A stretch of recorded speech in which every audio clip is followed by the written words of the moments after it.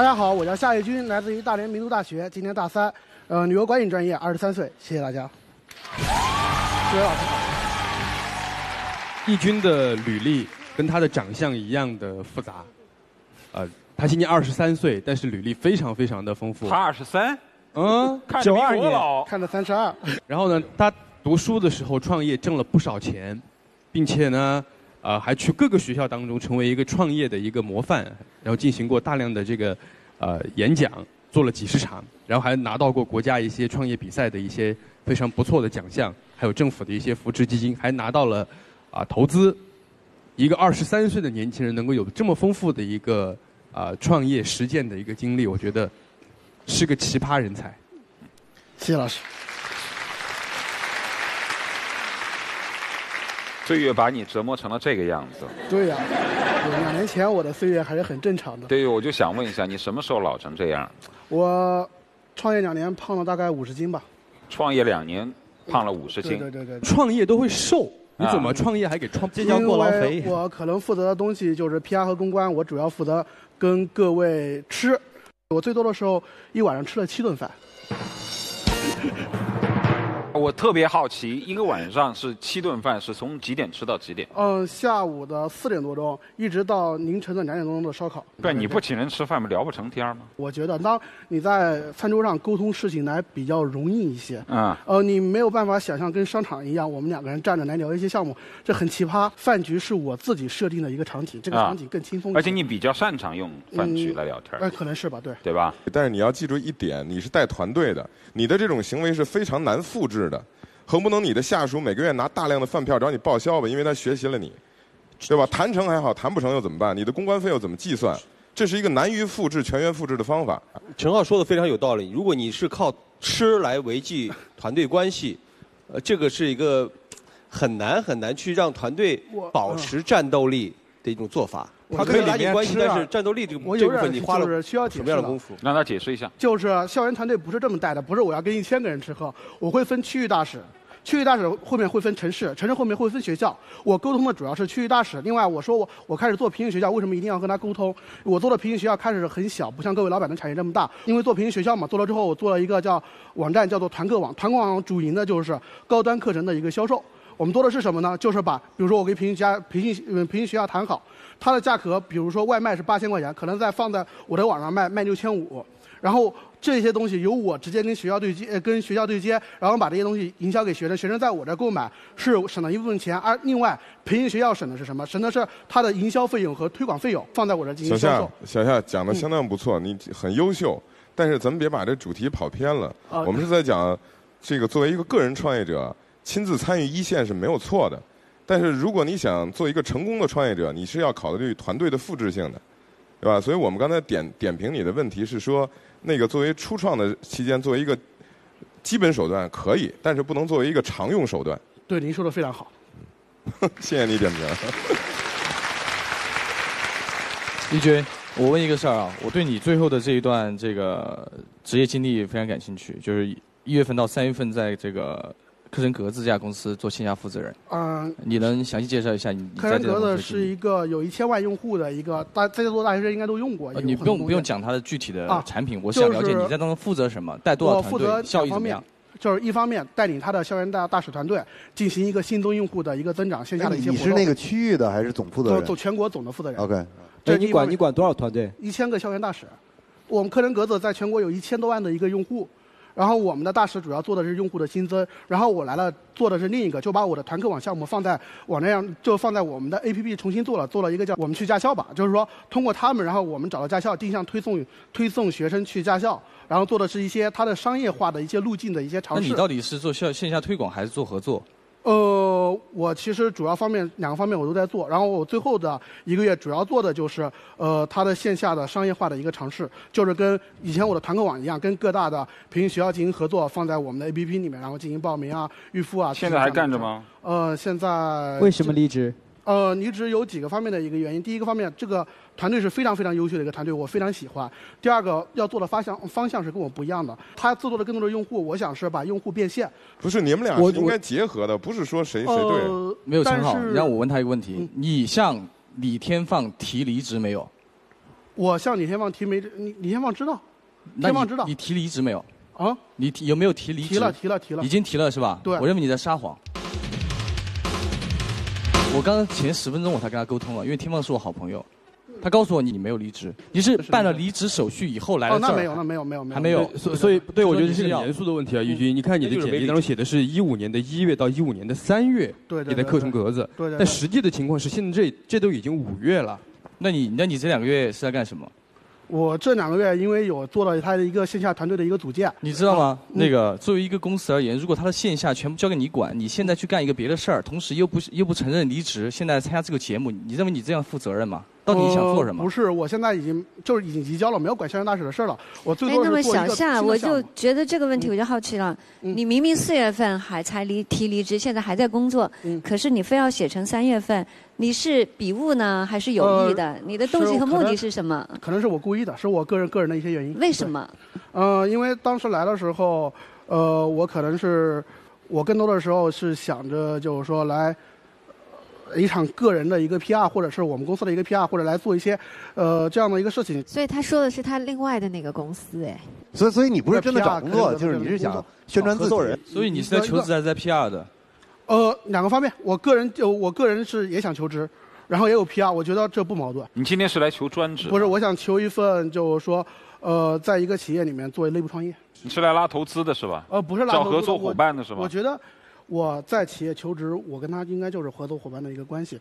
我为了你他不要说你你你不要偷换概念你固然是企业的一个成员，嗯但是合作和成和这个职员是不一样的。我们是求职的节目，而且他之前过往的这三份工作全是同一个行业的，就完全没有考虑还有敬业。的问题。对他完全没有考虑过这个。那你对任何一家未来还是这个行业的企业来讲的话，都会有这样的顾虑，这个是不能回避的。我跟他们 CEO 也联系了，因为你说呢，你是这个呃课程格子全呃全国校园大使的总负责人，然后后来又去做了那个驾校项目，然后你们 CEO 讲的是你从来没有做过总负责人，总负责人是另外一个人，说你来了以后就是让你去做那个驾校。但驾校的也没干起来，后来他，所以你就这么这么一个状态。不是您您您可以现在再跟他聊一下吧？不可能是不，他说总负，他总负责人，他微信里给我用中文打的嘛。他说总负责人是另外一个人，不是他。对，那你就可以可以，你可以你可以跟他进行再沟通一下。不，这这不，我这边再怎么沟通很清楚了那个人不是你嘛？就是那个人不是你，而且这个我觉得也合理，因为总负责人这个事儿，那个呃，你这个天放这个 CEO 特地讲了，说总负责人在我们公司一定是全职员工，说我们不可能聘一个在校生做这个事儿。他说这是开玩笑的。你觉得他说的是假话吗？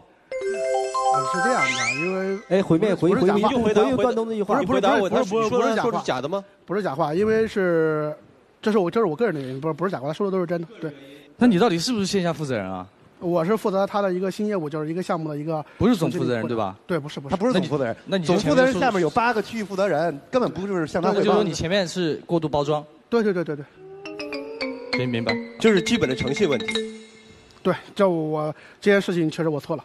你怎么说你错了的时候说的那么的轻因为第一松呢？，第一是我确实错了，第一我的初衷就是不对的，我觉得我的初衷就是不对的，这是第一点。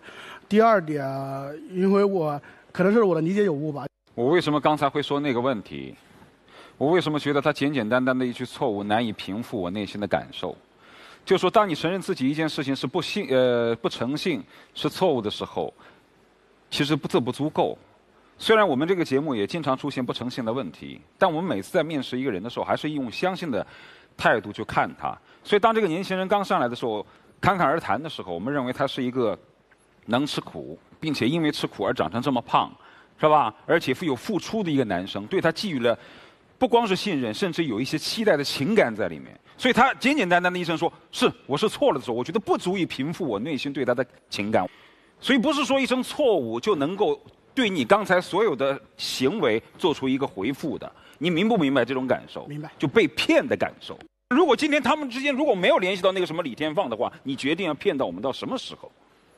所以我就很气愤，你知道吗？有很多观众会说：“你们有那么气愤吗？跟你又没什么多大关系。”但是我们每次在面试一个选手的时候，我们就是抱着这种信任的角度来的，可是你们就欺骗了我。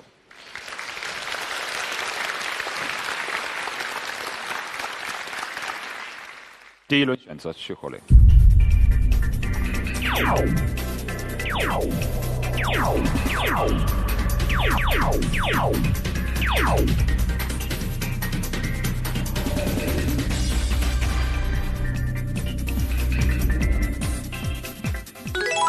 还有两盏灯。接下来我们进入“天生我有才”。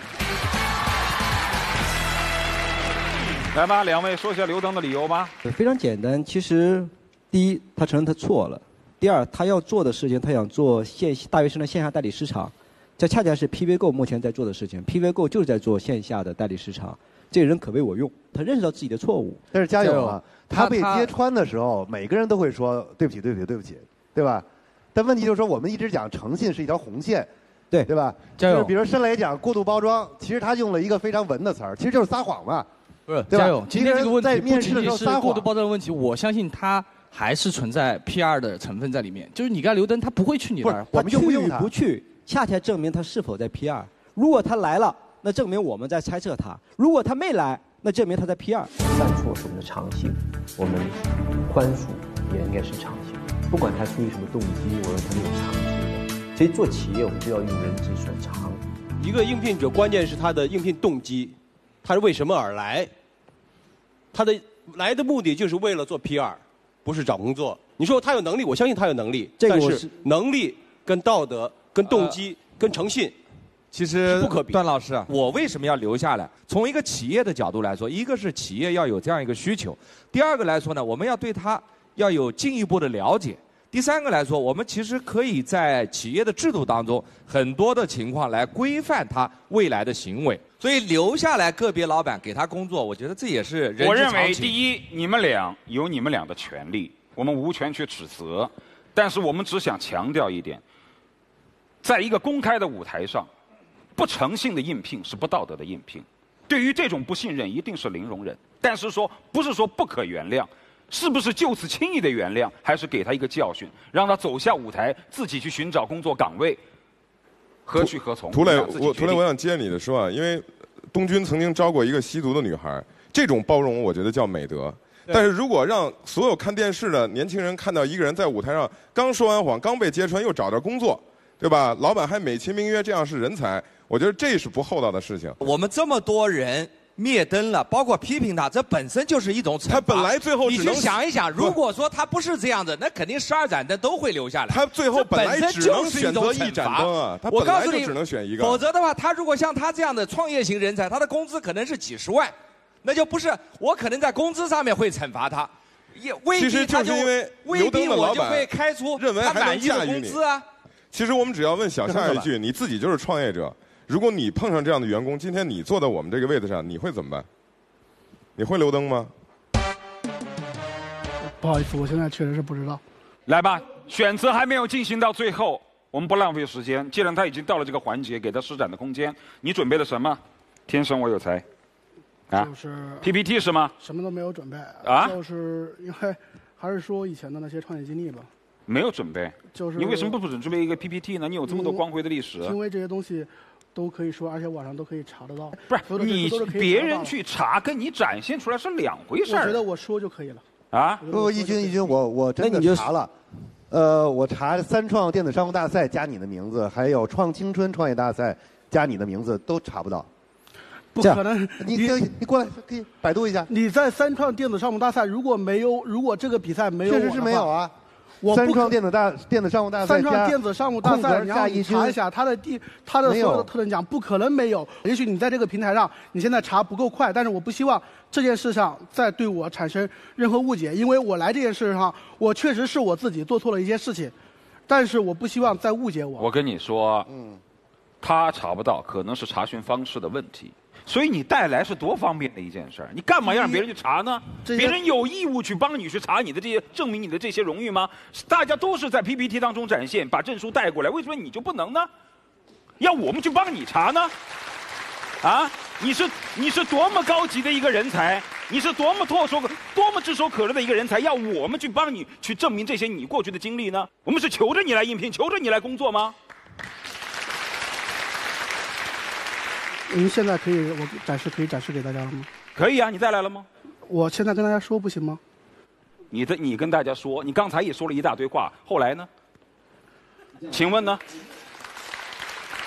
我先说一下，我先说，我查到了查到了，呃莫言，这不重要，这这这咱不在不他又吹牛了呀？问题是，你是辽宁赛区特等奖，不是国家级特等奖啊。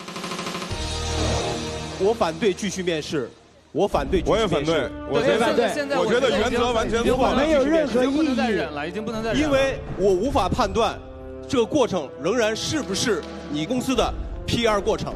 并且我清楚的知道三创大赛是分成省级赛区和国家赛区的，而且我觉得拿一个省级赛区不，咱跟这大赛没关系了。不管现在刘家勇跟这个沈东军给你什么样的机会，小夏，他们违反，他们错误的理解了一个原则，也就是说人品可以不重要，才华比人品还重要。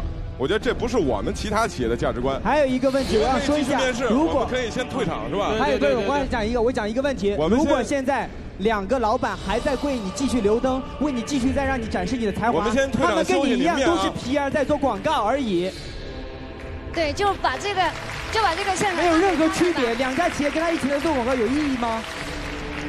我能我能说两句话离开吗？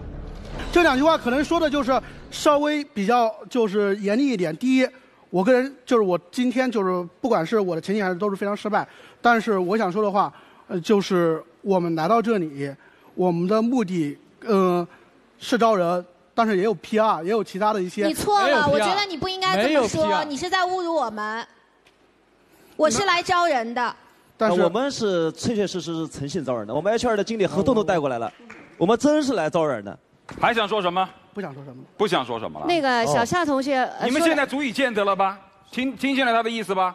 才能和德性哪个更重要？如果说我们这些老一代的企业家，大家觉得这个是个代沟的话，那你们看到两个九零后的老板也认为诚信比才德很重要。我觉得全世界做商业、做企业人都应该诚信是最重要的，每位老板应该有这样的基础。所以，如果哪些老板认为这个基础不重要，我们不一起玩了，可以吗？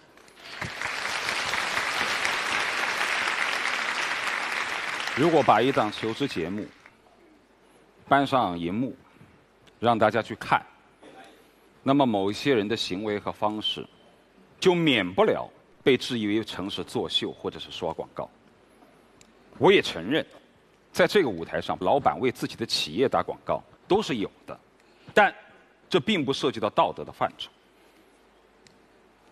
你最关键的问题是，知道自己不道德，还要脸不改心不跳的维持辩护，还要说不是我不道德，是你们都不道德。那两个老板刘登呢，可能是有这种爱财的想法，但这种情况下，你根本不能判断说他之前说的那些到底是是不是真的，他的简历到底是不是真的，所以你如何判断他有才华呢？其实你根本就没有办法判断，所以我觉得整个再去面试都没有意义。我们企业来飞影墨水平台是为了为了企业招聘有能力、有知识、有经验的人才，更关键是我们需要招一个跟我们共同价值观，起码是有基本的诚信、道德底线的人。诚信这是红线，任何一个企业是不可以碰的。我个人觉得，我今天并不是生这个小孩的气，我是生某些老板的气。我觉得他们应该不能为了商业利益，为了所谓的 PR，完全牺牲自己的道德底线，还牺牲自己的用人原则。我就问一句话：如果不是在电视平台，他们在自己企业真的会这样招人吗？他的企业如果真的这样招人，真的这样招人的话，他企业能走到今天吗？一切都是太多质疑。还有两盏灯，接下来我们进入谈钱不伤感情。写下你们的薪酬。所有的老板都离开现场，今天我也想走，没办法，我是主持人。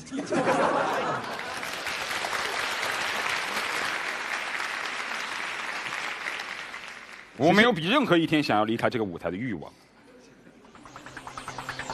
其实这涂老师啊，其实在这个过程当中，他已经受到很大惩罚。我不觉得。其实这种惩罚，每一个人的理解到最后，他们都把你们都拖下水了，还认错呢？你的薪酬请揭晓。